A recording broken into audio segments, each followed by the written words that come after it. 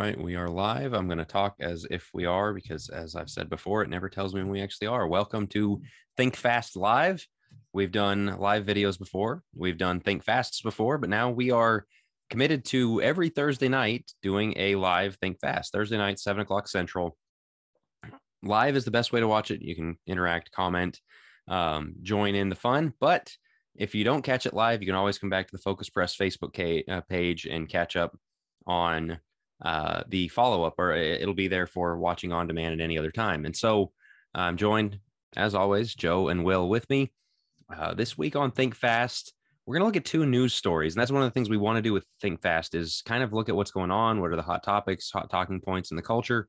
Um, Will's got one for us. Joe's got another. And then we're going to break down a little bit. And our, our title for this is called Tolerance Was a Lie. And you're going to see why with these two stories. Will, go ahead with the first one. Sure. And Jack, I know you already briefly said it, but we, especially if you're watching it live, we want you to comment, share your thoughts. That's kind of the, one of the big purposes yeah. of live. But uh, the, the first story that we want to talk about is something that happened a few days ago at the Mall of America in Minnesota, where there's about a two minute video going around online has been kind of shared and, and kind of really gone viral. This guy that was wearing a Jesus Saves t shirt, neon yellow Jesus Saves shirt so it said Jesus saves on the front, and then on the back, uh, it had the remember you guys remember the coexist like bumper stickers.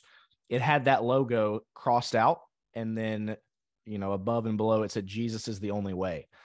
And what you hear in this video is these two security guards berating this guy, saying that he was religious, that he was uh, soliciting in a religious fashion, that people were offended, that guests had escalated to them, that he was offending people, and so that he needed to either take his shirt off or leave the mall.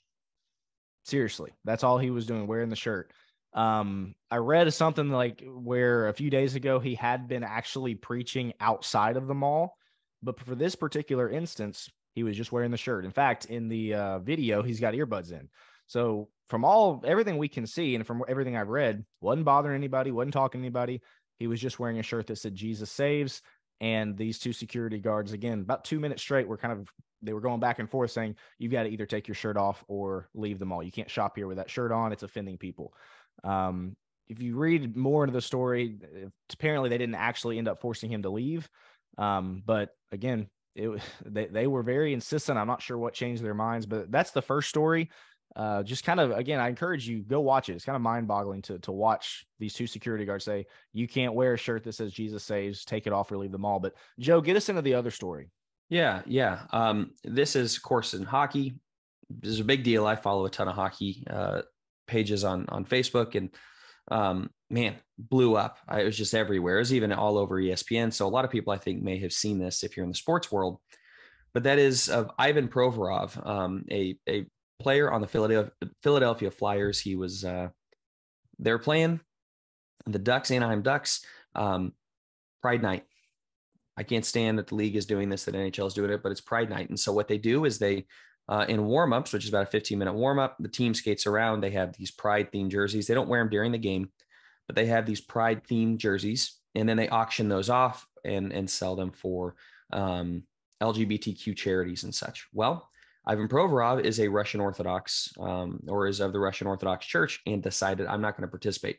It's not that he went out there with with a regular jersey on. He just said I'm going to I choose to sit out. I'm I'm going to um, sit out a warm up. It's just 15 minutes. It's not the game, nothing huge, but people blew up. I mean, all of the all of the pundits, the sports writers, uh, everybody blew up about how intolerant it was that he didn't go out and skate in this warm up with the pride jersey and that he didn't have a jersey to auction off for um, the LGBTQ agenda. A lot. Here's the interesting thing: this story made it huge. ESPN writers, the Athletic uh, writers, TSN, uh, which is Canada's version. I mean, everybody's touching on this uh, subject. A lot of the people, from what I was reading, were like, "What's the big deal? The guy just went out with without a you know or he didn't the commenters you mean the, the, the pundits the were all yeah. up in arms the pundits were all in arms yes sorry i should have clarified the commenters underneath each article, and there were multiple. This was everywhere. I'm telling you, every major outlet that I follow cover this. Um, all the commenters were like, "That's coercion. That is trying to get him to do something that's against his conscious uh, conscience." And so, this is with these two stories. It's a fascinating we're in a fascinating place. Jack, we're going to go around to you. We've we've told both stories of, of what's been in the news recently. There's a lot of things in the news, but these two stood out to us for a specific reason. Yeah, as I said at the top, we are calling the this uh, the title of this one is tolerance was a lie because man, anybody watching this is probably old enough to remember 10, 15 years ago that was the biggest word. You saw it, you heard it everywhere. Tolerance, tolerant. We got to tolerate one another. No hate, just tolerate and you know, it's not your business what anybody does in their bedroom. And I just all of those things of like, just leave people alone, leave people alone.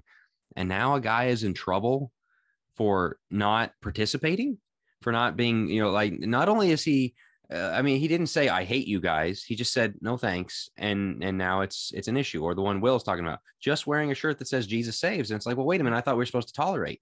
Why can't we tolerate? In fact, hockey had the NHL has a campaign called "Hockey is for Everybody," and it's a race and it's it's a critical theory kind of you know marginalized groups and inclusion and all that stuff and it's like well i guess hockey isn't for everyone it's not for right. russian orthodox people it's not for people who believe right uh, the jewish faith the muslim faith or the christian faith and take it literally the thing about will uh, brought up in the mall you can't wear a shirt in a mall that says this is what i believe this is my religious belief well so tolerance was totally a lie and it wasn't just a lie it was a it was a, a fake. It was a game. It was a play that they were running.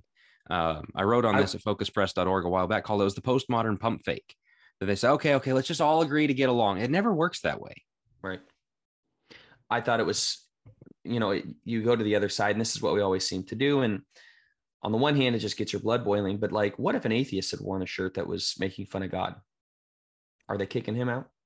They're going to do the exact same Can thing. Can you imagine some of the other T-shirts that were at the Mall of oh, America? Oh, yeah. Probably obscenities, all kind of stuff. But no, oh, it's yeah. the one that says Jesus saves. That's the one that was asked to leave. And what's yeah. interesting to me about that is, like I said, that was on the back. And sorry, Joe, I'll get back to you. No, no, no, go for it. What was on the back of his shirt was that thing that was again popular 10 to 15 years ago that coexists that you used to see on the back of, of cars, the bumper sticker. I don't see those much anymore because to me that was that was emblematic of the tolerance movement, right? Just everybody coexists everybody lived together.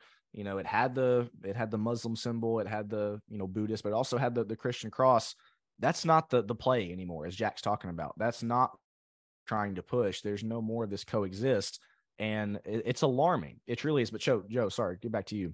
No, no, I was just gonna say, um, Provorov, I had read something that said he did support hockey is for everyone. He had done one of their their things or whatever else and the point is, there's no winning with these people. There's no appeasing these people.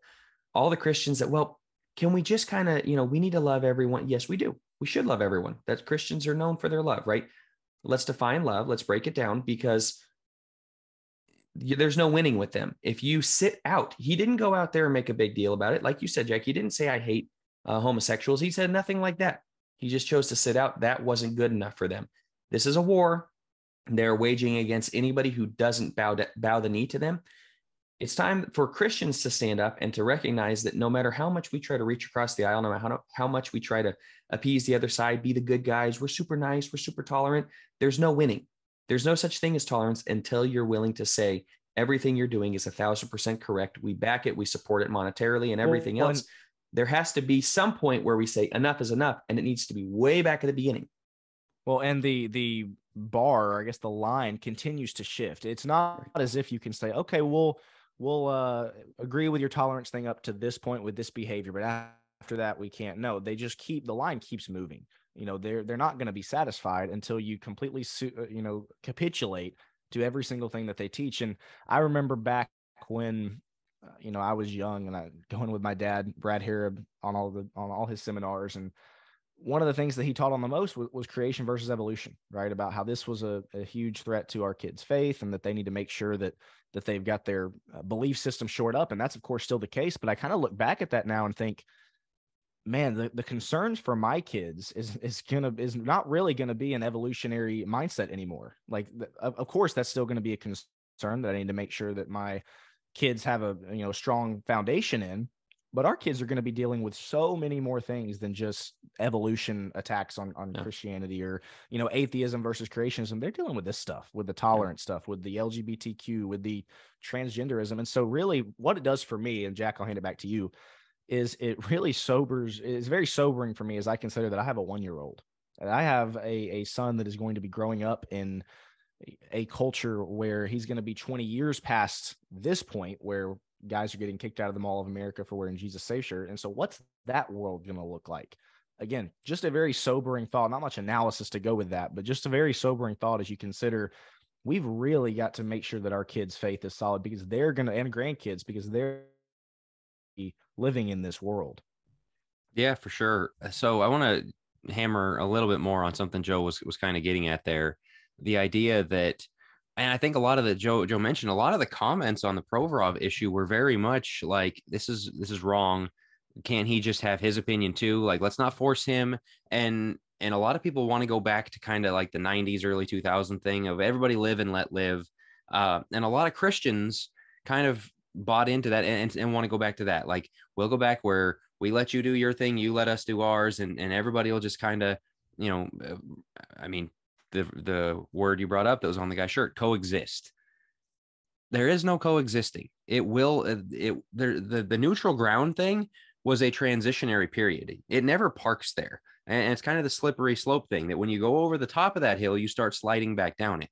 And all you can do is push this boulder up to where it rolls back the other way, or it just keeps going in a free fall to where we're at transgenderism we're at. I mean, the pedophilia grounds are being laid already, bestiality, anything else. I'm like, we said this. I mean, we've been writing this at Focus Press from day one of the slippery slope, and a lot of other people have too. Of there's no breaks on the slippery slope. And so, where people are like, well, let's go back to where it was just neutral and we all tolerated each other. Because what happened with Provorov is afterwards he just said, well, I respect everyone. I respect everyone's choices, but I'm, I, you know, my beliefs it doesn't work that way. There, there isn't my beliefs and your beliefs, your choice, my choice. You could just say, I think it's wrong. Just live with that. Own up to it. Because as Joe said, nobody gets appeased. Nobody goes, oh, well, okay, I'll respect you. You respect me. Own it. Say, I think it's wrong and live with the consequences. And that, to Will, your other point about what our kids are going to grow up with, get used to living in the consequences. Get used to living in this world. I'm uh, doing some work on the side, you know, with secular businesses. It is so hard uh, everywhere you look is just drenched in this culture. There, there was one. It was a uh, product line for for young children, for like preschoolers, and what they had was a they have a Pride Month line for preschoolers. I, I mean, this stuff is surrounding wow. us everywhere, and it's like oh one ideology goodness. is going to win, one or the other. And through evangelism, through raising our kids, as you say, to to hold the line on this, to to showing people this is the fruits of this. Look how a drag queen story hour is the fruits of all this. It's awful. This is not acceptable. You look at you know the the the just the people's lives who have been ruined. We need to hold that line so people can see there is an alternative that is true and it's not everybody gets to have it their own way.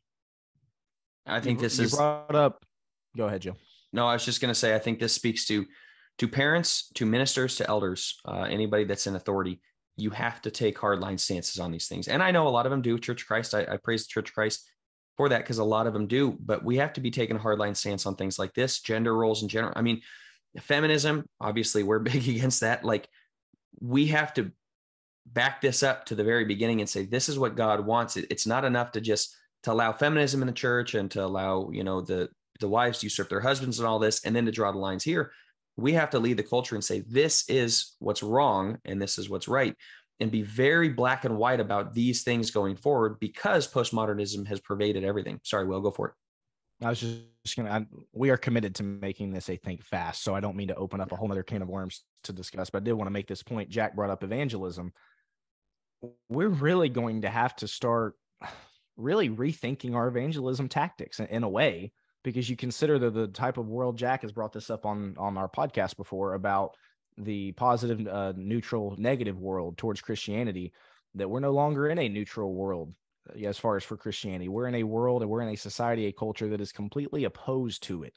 They hate it. They they, they again because that was the question that I kept asking myself. Why are people so offended by religion? Why are people so offended by a shirt that says Jesus saved? You know, see a shirt, keep walking. What's the problem? Why, if there really were escalations in this this Mall of America, where people went to the guards saying, "Hey, this guy's offending me," why do people get so offended? It's because of of the the guilt factor that that religion plays, and and so they they just they they, they hate it. They're going to do everything that they can to stop it. And so bring it all back back around to saying this the evangelism you know tactics that are based around making people like us and like our church and like the things that we do can't be about that anymore. It's going to have to be no, this is what the Bible says, and we're trying to live like Christ. You either follow us or you don't, type of thing. And again, we could get into that for a while, but it, it's it's alarming how how offended people are by religion these days, and it's only going to get worse. I'm going to close with this to build on your point that love is the answer love is what will win people over but love right now is not making people feel comfortable and and like that there's nothing wrong. Love is being the one person in their life who cares about them enough to tell them the truth. How many people have you seen of like the that had the transgender conversion surgeries and like it ruined their lives? And and they're they're coming out telling their story like please don't let other people do it. And those people are silenced because they don't want those people to talk. Loving somebody enough to say this is not okay. This is not going to work. This is not you know god has a better way. Jesus saved you or died to save you. He's he's got this plan for your life. Go in this direction. This is what you need.